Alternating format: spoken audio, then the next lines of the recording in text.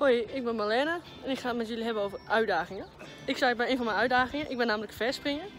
En ik sta hier bij een 3 meter bak.